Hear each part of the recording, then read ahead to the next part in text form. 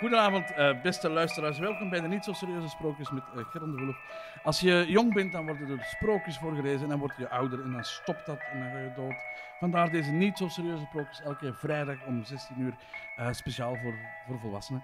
Um, ik heb een gast bij mij, er is niemand minder dan comedian Jan Linze. Hallo. Hallo. En jawel, jawel, we zitten live vanuit het Zottekot in Pulderbos. En van dit live publiek kregen wij juist de fantastische titel die tot zoveel ideeën echt... Oh, het wordt een mooi sprookje, denk ik. Een heel mooi sprookje. En de titel is Er was eens een mossel in de menopauze. Uh, we zien wel waar dit heen gaat. ik ben benieuwd. Hier, hier gaan we dan. Er was eens een mossel in de menopauze. Er was eens een mossel genaamd Chantal. En Chantal woonde al sinds jaar en dag in de Noordzee.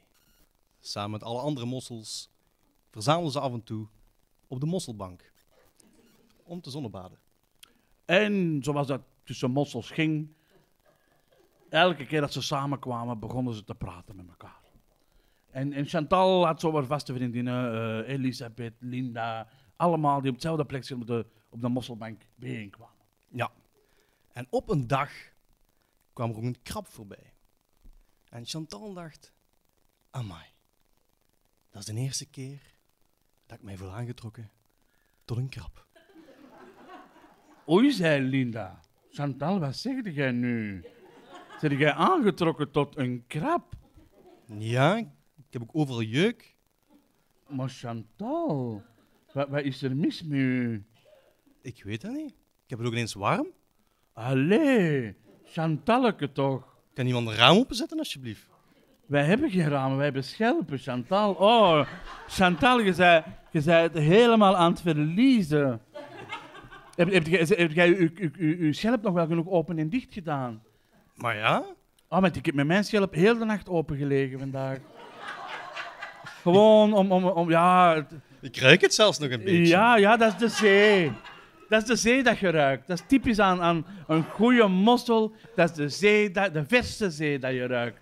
En ik heb heel de nacht met mijn schelp ogen op. En nat, jongen, nat. Oh. Heel mijn mossel was heel de nacht nat. Fantastisch. Slaapt jij nog met je mossel open? Chantal. Af en toe komt er een spinnetje op bezoek, zei Chantal. Ah, zo een, een, een Noordzeespinnetje. Zo'n ja, zo'n klein, klein op een krapje. En mensen gooien dat dikwijls weg. Maar het slaat nergens op. Maar, maar, maar Chantal, doe jij, doe jij s'nachts je schelp open? Hoe lang is dat geleden? Dat jij je schelp nog hebt, hebt open gedaan? Het is waarschijnlijk drie weken geleden. Ja, ja, jij zit met een probleem, zei Linda. Jij moet naar de mosseldokter. En Chantal zei, ah wel, Linda, ik denk inderdaad dat er iets mis is met mij. En Chantal maakt een afspraak bij de mosseldokter. En Genaamd? Guy. Nicoloog. um,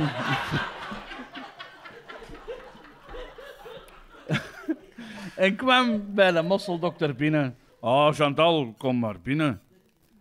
En Chantal zei... Er is een probleem met mij. Ik val op krapjes. En ik doe mijn schelp niet meer open. ah, zei dokter Guy. Ja, Chantal, hoe oud zeg jij nu? En, en, Chantal vertelde hoe oud dat ze was, hoeveel zomers en winters en lentes ze al had, had meegemaakt. Ah, zei, zei, zei, zei de dokter, dan is het zover, Chantal. Jij zijt in uw menopauze geraakt. Oeh, oeh, wat wil dat zeggen? zei Chantal. Ja, dat wil zeggen dat als u plukken, uw schelp met kokend water niet meer open gaat. Um, en waarschijnlijk eenmaal wit blijft en dat je dan gewoon wordt weggesmeten. Dat is, ja... Jij zit de slechte mossel, zoals dat, zoals dat mensen wel eens durven zeggen. En Chantal was helemaal in paniek. Maar dokter, wat, wat, wat kan ik daaraan doen? Ja, zei de dokter, dat is de natuur, Chantal. Er is eigenlijk niks aan te doen. Het enige dat je misschien kunt doen is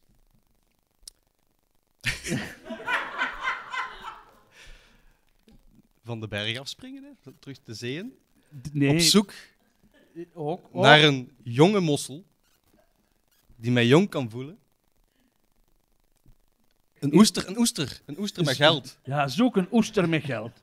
Een, een oester met een grote parel in. Voilà. Die kunnen ervoor zorgen dat mosselen die niet open gaan, toch vochtig blijven van binnen.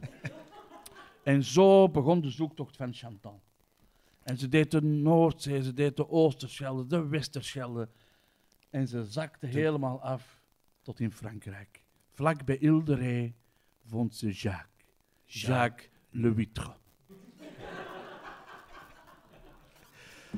En Jacques, Jacques zag Chantal al afkomen in de verte. En dacht bij zichzelf, amai, amai. Voor een mossel met menopauze? Dat dacht hij in het Frans, hè?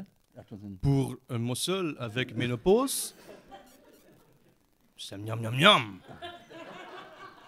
En eindelijk was Chantal haar oester tegengekomen die zelfs een mossel in de menopauze graag kan zien. Want Jacques had ook wel een klein beetje slecht, slechte ogen. Zoals elke oester. En iedereen heeft zo zijn dingetjes. Een, een mossel, ja, menopauze. Een oester. Als Jacques te veel open ging, dan was het ene snotboel van binnen. Ehm, iedereen heeft zo zijn dingetje. Maar samen Samen vormden ze wel een enorm lekker Noordzeebuffet.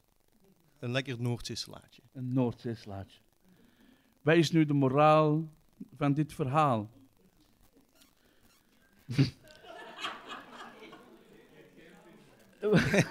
Wat is dat?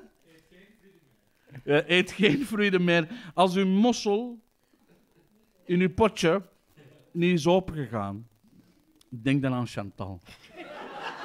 Zoek een oestertje dat erbij past. Leg ze ernaast. Zo vanzelf open. En het wil niet zeggen dat ze niet is opengaan waar warm water dat geen lekker oestertje is of een lekker mosseltje. Zelfs een oude mossel kan goed smaken. Swap लेकर